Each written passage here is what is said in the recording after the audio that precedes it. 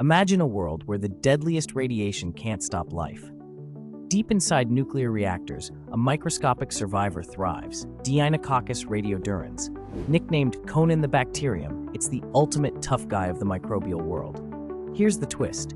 These reactors are bathed in radiation that would kill a human in seconds, yet this microbe doesn't just survive, it flourishes.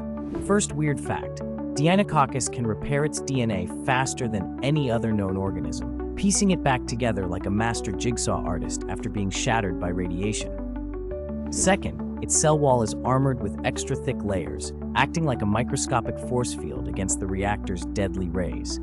Third, it produces antioxidants in huge amounts, neutralizing toxic molecules before they can do harm, almost like having an internal cleanup squad.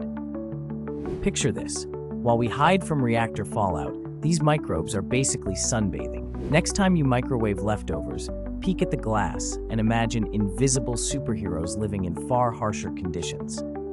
Life's toughest survivors aren't giants, they're tiny, and they're everywhere.